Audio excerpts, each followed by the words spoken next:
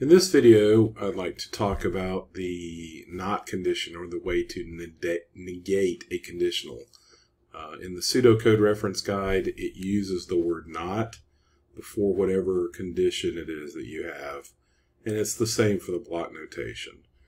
Uh, this one's going to be pretty simple because if we go and we start looking at the, the snap code and the Python code, it's basically the same thing. So here I have a true condition. I stick the true condition inside the not label and notice it reverses the conditional. So a not true is equal to a false and a not false is equal to a true.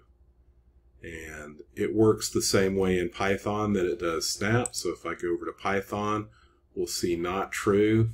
And if I go ahead and execute this cell, we see that that's false. And if I go not false and I execute this cell, we'll see that I get a, a truth value of true. So basically the word not just changes whatever the conditional is. And it's important to realize that it's it's any conditional statement.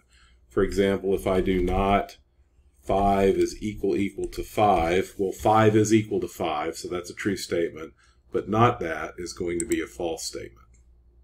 Hope you found this information useful.